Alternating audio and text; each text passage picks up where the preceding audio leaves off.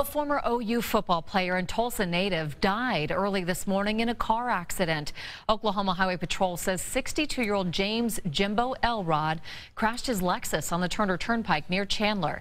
They say he died at the scene. Troopers say Elrod went off the road early this morning, tried to correct, and crashed. His car rolled and he was ejected. Elrod's wife was taken to the hospital in serious condition. Now, Jimbo Elrod hailed from right here in Tulsa and called the Jenks area his home in recent years.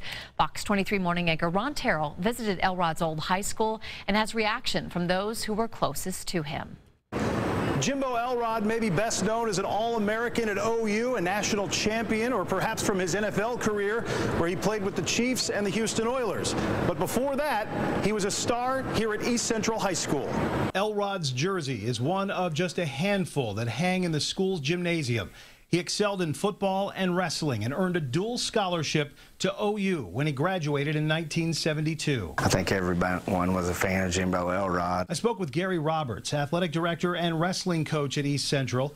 He told me his first experiences watching Jimbo were as a kid. He was a state champion wrestler, uh, you know, big hero of mine when I was growing up. We come watch him play football. In recent years, Jimbo remained a part of the Tulsa community and co-hosted a sports talk radio show.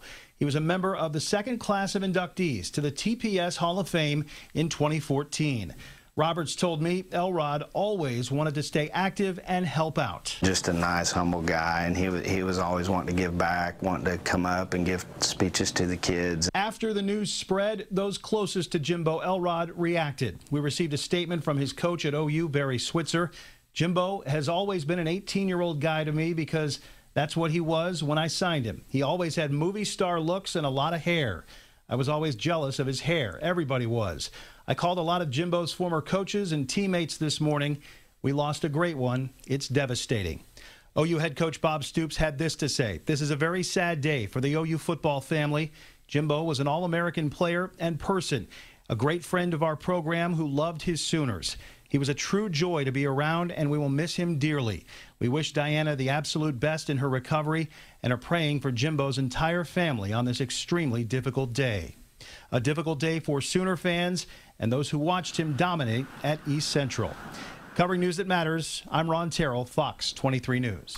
To share your thoughts and read others on Elrod's death, go to the Fox 23 Facebook page and comment on this story.